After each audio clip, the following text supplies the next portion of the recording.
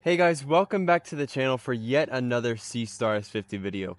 Now the first tutorial that I made was released in December of 2023 and a lot has changed in the Seastar S50 firmware and software since then. And so in this video we're going to go through some of the old tips and tricks that still work as well as some new tips and tricks and we're also going to check out some of the new features including the long awaited mosaic mode in this video. So let's go ahead and get right to it.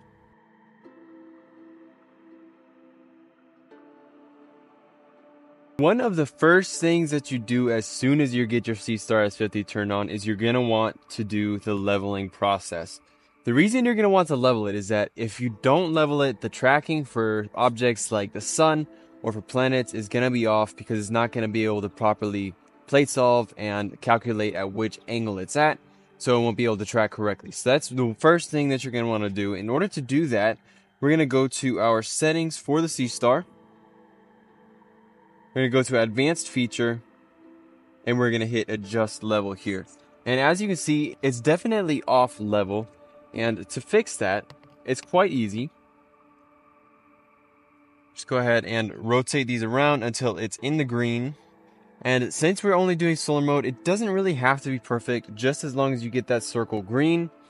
You don't want it above 0.5 generally. I have it at 0.4, so that should be good enough. And we're gonna hit finish adjusting here. The next thing you're going to want to do, of course, is the compass calibration. Otherwise, it won't be able to locate the sun correctly. And even if it can't locate the sun, there's always a manual way to do that. And I'm going to show you how to do that as well. But to calibrate the compass, just go ahead and hit calibrate like that. And you're just going to rotate your Seastar around just like this until the green circle here in the center of your screen is completely filled out. And as you can see, the calibration for the compass is complete. So we're going to want to go back to leveling, make sure that it's still level at this new angle. As you can see, it's slightly off, so we're just going to level it again. And as you can see, now my Seastar is fairly level. The next step you have to do for solar is you're going to hit finish adjusting. You're going to back out of here. I'm not sure if any of you can recall, but on the previous version of the Seastar app, in order for you to even be able to open the arm of the Seastar, you had to go into gazing mode and then go up and then leave that mode and then put the filter on. It's a lot easier now. All you have to do is hit open arm just like that. And it will automatically open up the Seastar arm so you can install your solar filter. As you can see, the Seastar arm is now open. It's not too far up, so it's not going to get damaged by the sunlight. And we can go ahead and install this solar filter. And once it's installed, again, another new thing that you'll notice is that they no longer have a solar mode, so to speak. Now, in order to find the sun, you go to solar system, you click on the sun itself and hit go gazing and it should automatically locate the sun. Usually it pops up with a prompt as you can see just like that and you can go ahead and hit installed and shooting. Then it will automatically find the sun. I have noticed that even after the compass is calibrated, it will still go the wrong direction. So we're also going to figure out a way to locate the sun without the actual Seastar go-to function. And as you can see, even though it's not even done, it's already failed to locate the sun. It's pointing that way, but the sun is that way. So we're going to go ahead and figure out how to find the sun in a very easy way. Super easy step and I'm going to explain it to you right now. Now, finding the sun manually is actually a very simple process, and to do that, all you have to do is point your Seastar in the general direction of the sun, and all you need is the shadow of your Seastar and a piece of paper or your hand. And using this piece of paper or your hand, what you're going to want to do is if you look in between your Seastar, you'll see that the lens in the body is slightly detached. So there's a slight gap going through there. And the way that you can figure out if your Seastar is actually aligned with the sun or not is that when you hold up that piece of paper, the sunlight should come so perfectly through that slot of light that it'll make a direct white line coming down that piece of paper or coming down your hand. And I'm going to go ahead and show you how to do that. It's very simple. You just go ahead and move around your Seastar lens until you see that white strip of light appear. Currently just waiting for a cloud to pass by, but I'll get that lined up in just a second and show you exactly what it's supposed to look like.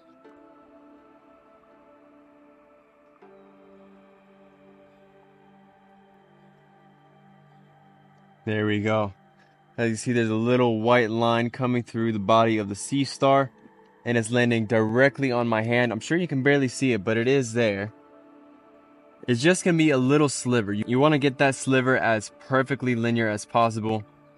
And once it's perfectly linear, that's how you know that you have it centered. And then you can simply just go up and down with your Seastar until you see the sun appear on your screen. And there it is. There's the sun. It was just that easy. That's all you have to do. And once you have the sun centered in your Seastar app, you don't want to lose it. So you're going to press this little button here. This will keep the sun properly centered in the middle of your screen. So you can either take pictures of it, do a time lapse of it, uh, record a video of it, uh, and you can record that in raw format. If you record that in raw format, that'll allow you to stack it. If you don't record that in raw format, it's just going to be just a normal video, uh, limiting your ability to do any kind of editing on it. Now, if you want to get more detail on, say, sunspots, what you're going to want to do is put this into 2x zoom. And you're going to want to automatically center it again. The reason you want to put it in either 2x zoom or 4x zoom is because if you don't, you won't get as high of a resolution image of the sunspots. What I've noticed is that if you have it in 1x resolution and you go to do the raw video stacking, you won't get as clear of a photo of the sunspots as you would with the 1x. Same goes to say with the 4x. If you do it in 4x, obviously you'll get a higher resolution image than you would with the 2x. Point is, if you want the highest resolution highest detail image of the sun up close as possible, you're going to want to have it in either 2x or 4x. Unless you want the full image of the sun, obviously if you want the most surface detail, you need to record it in 2x or 4x. And when you record it, switch it to video, turn raw mode on. Obviously this is going to take up a lot more storage, so you're going to want to make sure that you have enough storage space on your Seastar. Otherwise you won't be able to get the amount of video that you would want. And obviously just to record it, you go ahead and press this record button to start getting that raw data in. And it can record up to 10 minutes of raw data. And once you're done recording, if you want to start doing the stacking, all you have to do here is close out of that. You want to go to My Album. You want to go to Seastar. Click on that video twice and you're going to hit the stack button, which is the, the top right corner of the screen, and it's going to start stacking the video. Sometimes this can take up to 20 minutes, uh, just depending on how long the video is. Of course, the less frames it has to stack, the less time it's going to take. So if you're planning on doing the stacking, keep in mind it cannot stack and record at the same time.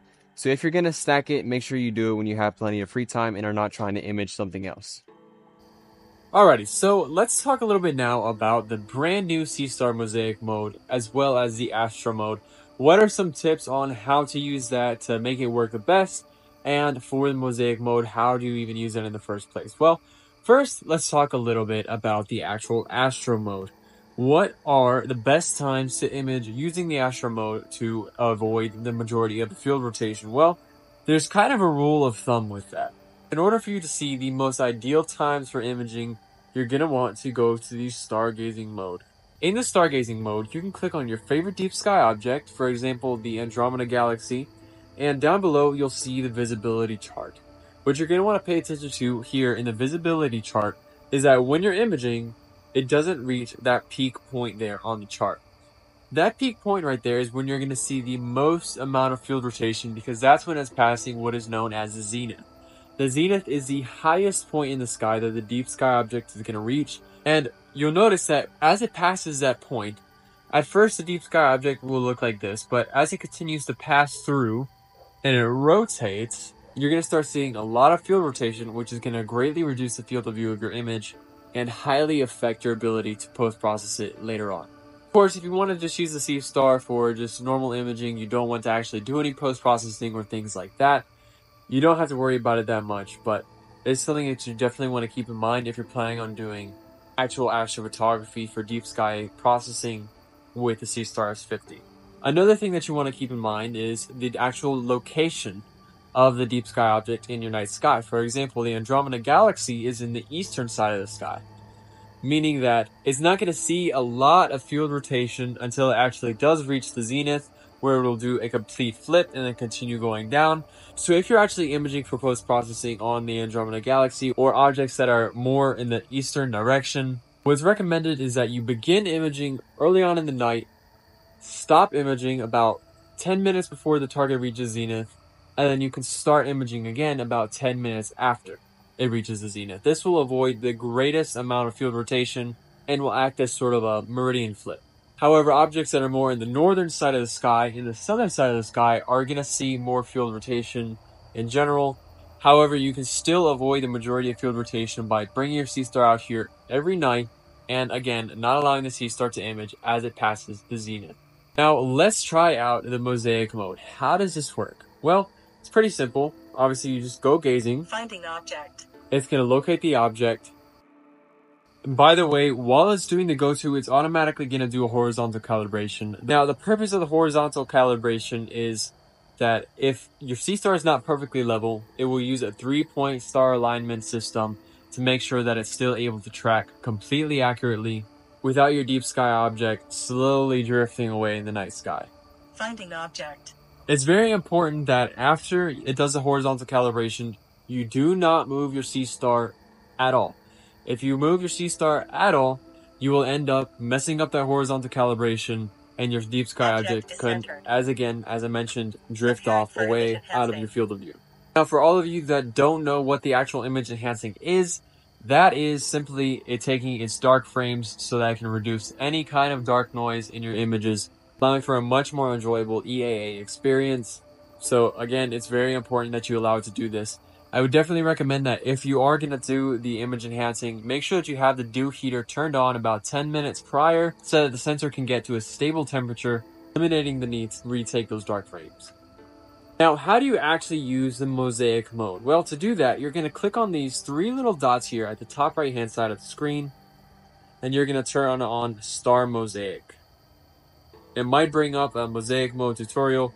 Uh, I'm just going to go ahead and show you how to do it so you don't have to do all of that reading. To do the star mosaic, you go back to the Sky Atlas, you click the framing button, which is at the top middle side of the screen, and then you can simply expand that, and if you want, you can rotate it, just like so, but I'm going to keep it the same because that will reduce the amount of exposure time needed. But as you can see, this is the total size of the image that I would like to get. This is the Andromeda Galaxy and you can hit go to for it to start taking those frames.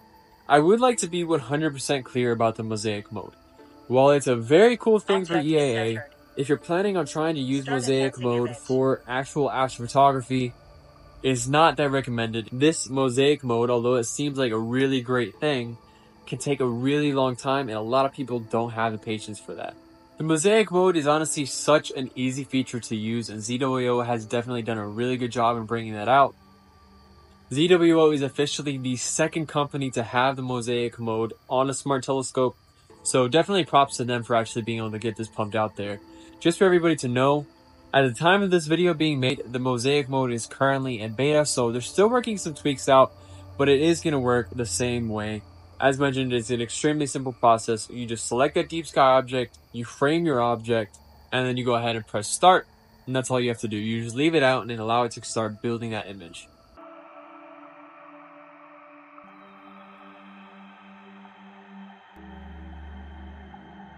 Alright, so what about planets? How can you use the Seastar to get the best possible image of a planet with such a short focal length? Well, Seastar is definitely not made for planetary, although it can do planetary pictures, don't expect them to be super great like you would see from a much larger telescope. The pictures are not going to be anywhere as close to being as good. Well, super easy. You go to the solar system function on the home page of the Seastar app. Uh, for tonight, we're going to be looking at Saturn. So all you have to do is hit object. go gazing. It will find the object. Object is centered. Sometimes this can take a while, but this time it seemed like it worked very fast. Now, again, if you want to get the best possible picture of Saturn, you're going to want to switch it to video mode, turn RAW on. When, what I like to do is make sure I have the planet centered. It should automatically put that in the center there to keep it as stable as possible. And then in order for me to get the most detail, which I've noticed that if you have it on 1x, you're not going to get hardly any detail of Saturn out. So what you want to do is switch it to 4x or 2x, whichever one you prefer. You want to make sure you keep that centered again. And you want to lower down the exposure because Saturn shouldn't look as bright as it looks here.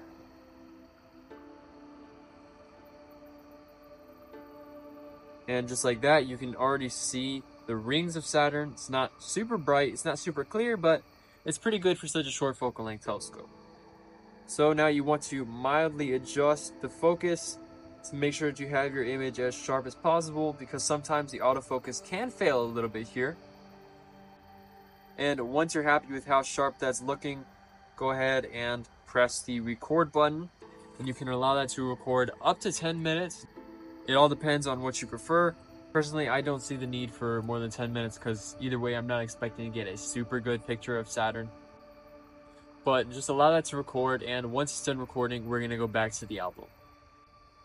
So to find that now, you go back to your Seastar homepage, you click on My Album, you click on Seastar, you click on Planetary, click on it again, and then in order to stack that picture, you go ahead and hit stack. And another good reason to use 4x zoom is you're to have a much, much smaller video file, meaning that this stacking process is to take a way shorter time. So you don't have to take as much time. Just like with solar, you'll get more detail on a smaller portion of that object, and you'll be able to stack it at a much, much faster speed. Once the video is done stacking, in order for you to view the image, just go ahead and click go to check and you can zoom in right there. Obviously, as I mentioned, it's not going to be a super great image. It's better than what you would expect from such a short focal length, but as I mentioned, it's definitely not the best. You can play around with the settings here, uh, perhaps make your image look a little bit better, but it's not ever going to look super great. So it's definitely more fun if you want to just look at these deep sky objects, definitely as an EAA kind of thing. But for actual imaging with planetary, again, make sure that you use the 4x zoom, but don't expect to get a super great image either way. If you found any of these tips or tricks helpful, or maybe you didn't know about them before, please make sure that you leave a like and subscribe to the channel for more Seastar content. As you all know, the Seastar S30 is coming out very, very soon. I believe we're going to get more details on that in November, so make sure that you stay tuned to the channel for more details about that. Thank you guys very much for watching. I really appreciate your support and I wish you all clear skies.